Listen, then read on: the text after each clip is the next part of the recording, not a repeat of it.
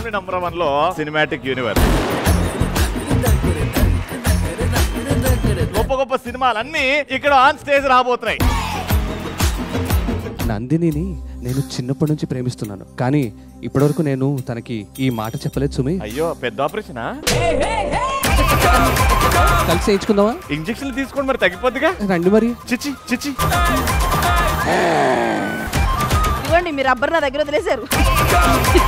నేను కమల్ని ముక్కర్చింది మేడం ముఖం చూస్తే మొత్తం కమిలిపోయినట్టుంది. ఏంటి కోవియా దప్పేస్తున్నావా నాన్నగారు బాబాయ్ గారు వచ్చారండి. Hello brother hello brother. NTR గారు వచ్చారండి ఏ గల అలా గుద్దేసి వెళ్ళిపోతావేంటి? ఒకసారి గుద్దితే కొమ్ములు వస్తాయి తెలుసా? వాడికి ఆల్రెడీ ఉన్నాయి.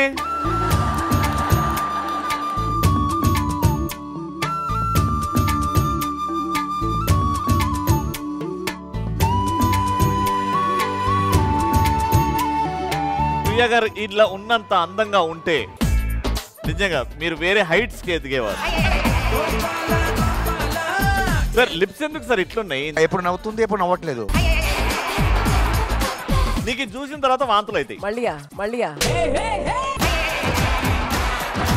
కేసీ గారి క్రియేటివిటీ ప్రెసెంటింగ్ యూ మృదులా.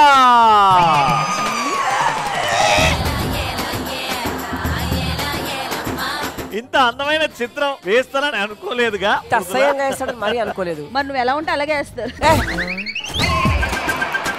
లలిత గారు.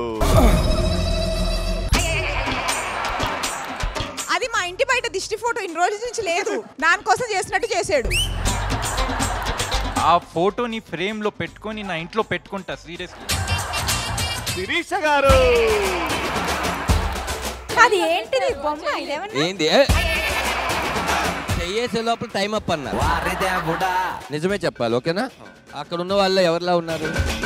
రోహిణి.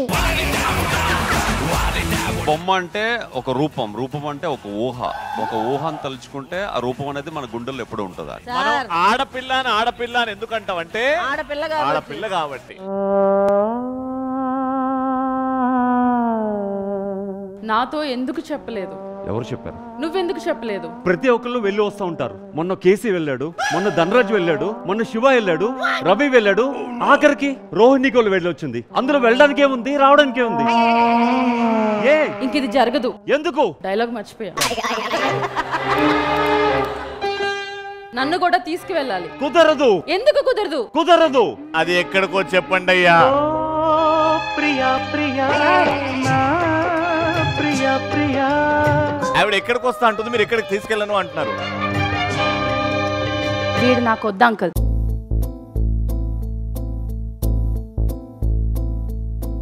ఏంట్రా ఇది? అసలు ఏం జరుగుతుంది సిద్ధు? వద్దు నాన్న. మొత్తం మీరే చేశారు నాన్న. మొత్తం మీరే చేశారు. ఇంకా చాలు నాన్న ఇంకా చాలు.